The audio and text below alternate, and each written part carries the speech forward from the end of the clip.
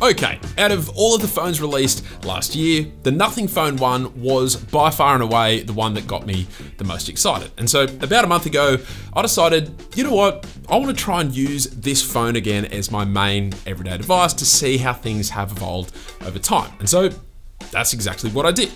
And in doing so, I learned quite a few new things about this phone that I otherwise wouldn't have. And I thought it was worth sharing my insights in a video.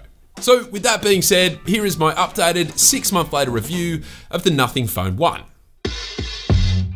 Now first things first, before I started using this phone again, I actually really wanted to sideload the Android 13 beta update and I gotta say, it was an absolute meal of a process whereby I had to factory reset the thing, downgrade back down to Nothing OS 1.1.3, then back up to 1.1.7 before I was finally able to sideload it, but I did finally get there.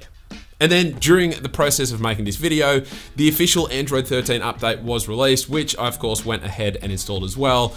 And I've got to say, the Android 13 experience has been really, really nice on this phone. As far as I'm concerned, this is by far the best and smoothest software version Nothing has released so far. Even the beta versions were incredible. And so for me, it seems evident that Android 13 and the Nothing Phone 1 have been a match made in heaven. Now, whilst we're on the topic of software, I thought it was worth specifically addressing some of the issues I mentioned in my initial review of this phone to see how or even if they've been addressed in the various updates that have rolled out since that first review.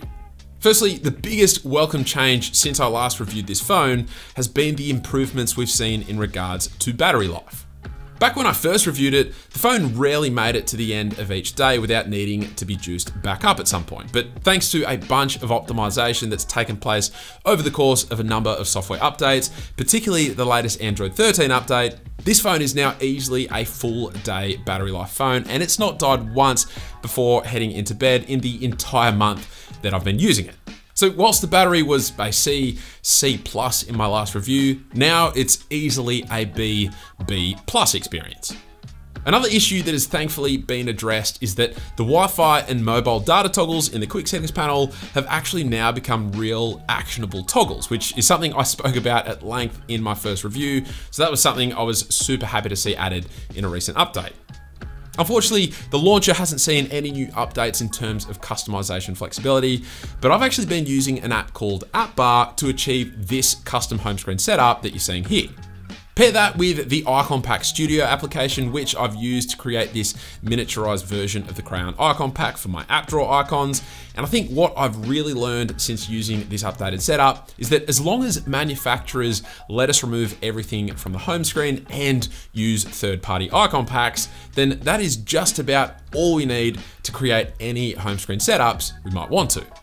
Now, if the software team at Nothing are watching, then if they could also add the option to hide apps from the app drawer in a future update, then that would be amazing. But aside from that, the software experience on this phone is honestly, for me, one of the best software experiences you can get on any Android device right now.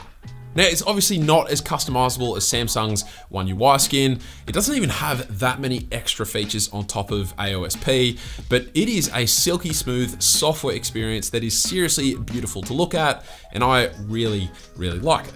Unfortunately, there is still no one-handed mode, which I thought for sure would come with the Android 13 update, so hopefully it'll be added soon. But for me, if you're someone who absolutely adores the Pixel software experience, then this phone is pretty much the closest thing you'll get without actually owning a Pixel phone.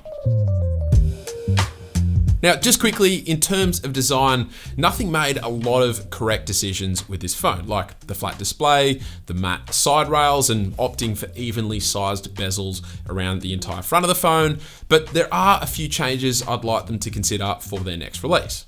Firstly, they've got to move that selfie camera hole punch to the middle because whenever you're on video calls or you're trying to take a selfie shot with your family or what have you, it is surprisingly disorientating having it positioned where it currently is because it results in eye lines being all over the place and lots of having to readjust your hand position to make sure you're not actually covering the camera.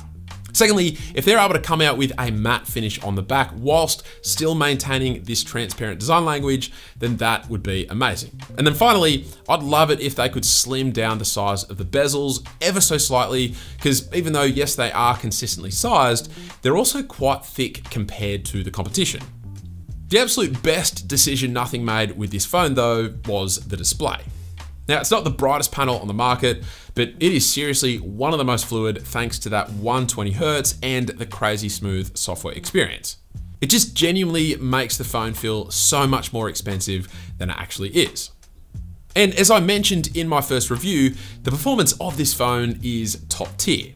Yes, it'd be great to see a flagship level phone released by Nothing with the Snapdragon 8 Gen 2 inside, which actually is rumored to be happening this year and which I'm super excited about. But man, the 778G Plus chipset inside this phone is really, really good. I would have no problems with a mid-range follow-up from Nothing continuing to use the upgraded equivalent of this chipset next time around because for me, the price to performance value you get from it is really, really good. Oh, and the fact that we have wireless charging with this phone, which is one of the customizations nothing made to the 778G Plus chipset, is again just one of those things that makes this phone feel much more premium than what it actually costs. For example, OnePlus just released the OnePlus 11, which by most measures is a really solid value phone, but it doesn't have wireless charging, which is just one of those things that makes it feel less valuable. But with all of that being said, there are truly only three things I desperately want Nothing to improve with the next version of this phone, and definitely with the rumored flagship Nothing phone coming later this year, which are in no particular order, the haptics, the fingerprint sensor, and the cameras. Firstly, the haptics. Now, they're not that bad in this phone, but they're definitely not as premium as the iPhones or Pixels or Samsung flagship devices. So I'd love to see nothing just going absolutely all in in making the haptics in their next phone top tier. Then the fingerprint sensor. And coming from the Pixel 7 Pro before this, which had a much better sensor compared to the Pixel 6 Pro sensor, and I'm seriously feeling the inadequacy of the sensor in the Nothing Phone 1. Now it has gotten slightly better thanks to software updates, but for me, it's way too low on the front of the phone, making it just that little bit too uncomfortable to reach. And it's still just about the most unreliable in-display fingerprint sensor I've used in a phone since the Pixel 6 series. And nothing, again, if you are watching, perhaps you could try copying Google's Face Unlock implementation for your own Face Unlock because not only does this little Face Unlock scanning icon look way too similar to a fingerprint sensor icon, but the fact that the fingerprint sensor itself completely disappears after my face is successfully registered and that the Face Unlock stops scanning if I tap to open a notification or swipe to unlock my phone, it's no good at all. If you fix those issues and improve the in-display sensor, then for me, that would be amazing. And then the last thing that really needs addressing is the camera system. For one, I've really missed having a telephoto lens on this phone, and I totally get that it might be a bit too much to ask for one on a mid-range phone, but I truly hope that at the very least a 3x, but hopefully even a 4x or 5x lens is added to this rumored flagship level phone supposedly coming this year. But then the image capture and processing situation needs a little bit of tweaking too. So since I started using this phone again, rather than using a Gcam port like I did the last time I reviewed this phone, this time I almost exclusively used the stock Nothing camera app. And don't get me wrong, this phone can capture a decent shot in the right conditions, but where it struggles is in taking pictures of people and in lower light scenarios. Images also tend to have a slightly over sharpened look to them, which I don't quite like the look of. And on top of that, there is quite a significant amount of shutter lag when actually capturing the shots using the camera app. So again, whilst you can often end up with some fantastic images from the cameras on this phone, I just don't feel that comfortable with this as my only camera, whereas that's obviously not the case when I'm using a Pixel or iPhone. And so that's it. And dare I say, as much as I loved this phone the first time around, I reckon I've loved it even more so this time around thanks to the improvements Nothing has made in the software department. Again, I am super excited for the rumored flagship level phone Nothing is supposedly releasing sometime this year, which I will definitely be getting my hands on. But for me, even though it's been over six months since this phone was released, if you're still thinking about getting one, then I reckon you should absolutely go for it.